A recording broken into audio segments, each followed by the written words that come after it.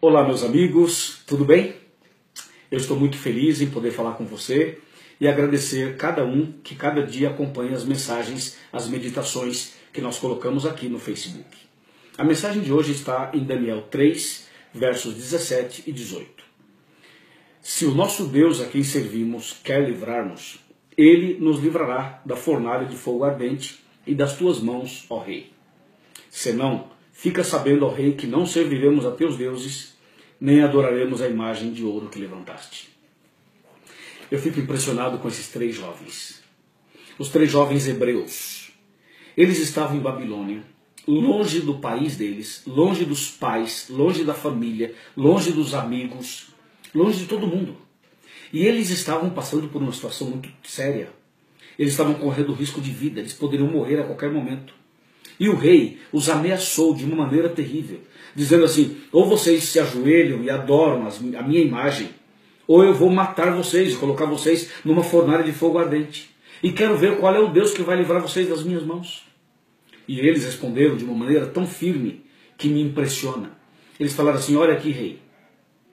Sobre esse assunto a gente nem precisa te responder, mas só para que você saiba: se o nosso Deus a quem nós servimos quiser nos livrar da tua mão, ele nos livrará. Mas se Deus também não quiser nos livrar, não há problema. Nós vamos continuar fiéis a Ele, mesmo que a gente morra. O que você acha disso? Veja que coisa incrível. A fé desses rapazes não estava baseada em coisas e nem em pessoas.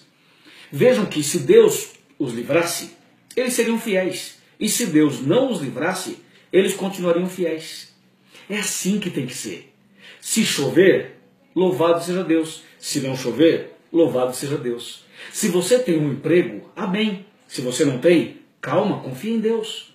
Se você está bem de saúde, exalte a Deus. Se você está doente, continue confiando em Deus. Ou seja, nós não podemos atribuir a nossa fé ou relacionar a nossa fé àquilo que Deus dá ou não dá. Porque senão parece que a gente está servindo a Deus por interesse. E não é assim. Nós temos que servir a Deus todo dia, não importa o que aconteça. Como esses rapazes. Você percebeu? Eles foram fiéis. Se Deus livrasse, ok. Mas eles falaram: Senhor, se o Senhor não nos livrar, não há problema, nós vamos continuar fiéis. Porque nós te amamos. É assim. Quando a gente ama Jesus, a gente vai ser fiel a Ele na alegria e na tristeza, nos momentos bons e nos momentos difíceis.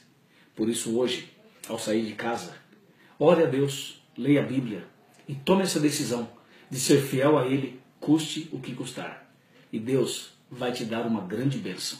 A bênção maior que Ele vai dar a você é a paz no coração e também a vida eterna quando Cristo voltar. Deus te abençoe e tenha um bom dia em nome de Jesus. Amém.